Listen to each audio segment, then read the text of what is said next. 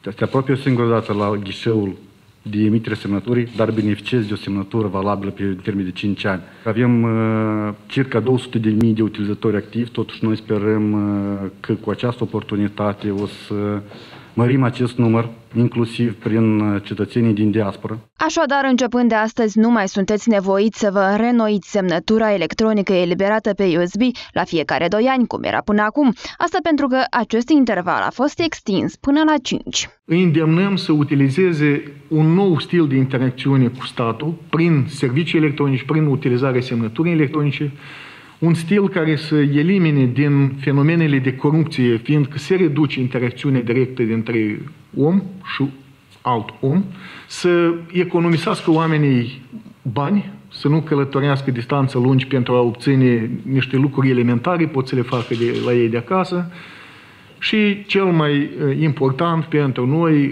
ca efect, să fie niște oameni liberi, să poată semneze de oriunde. Dispozitivul respectiv care astăzi a fost dat în exploatare a fost avizat de serviciu, corespunde cu toate normele de securitate și respectiv este un device safe to use și chiar vă recomandăm să-l utilizați. Pentru acest lucru din buzunar veți scoate 650 de lei. Vicepremierul pentru digitalizare recunoaște că cifra de 200 de mii de utilizatori activi, care constituie mai puțin de o pătrime din populație activă, este una modestă. Vom uh, uh, veni și cu niște măsuri de încurajare a tranzacțiilor electronice, deci uh, niște măsuri care să vină să stimuleze oamenii să consume anume tranzacții electronice.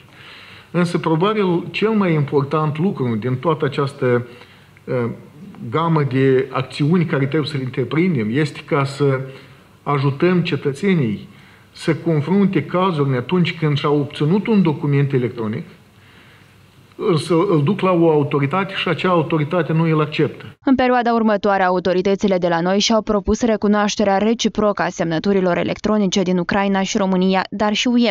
Semnătura electronică este un dispozitiv criptografic care se conectează la calculator pentru USB și care conține un certificat digital similar ca și în cazul semnăturii mobile. Acesta poate fi obținut de la Serviciul Tehnologia Informației și Securitate Cibernetică.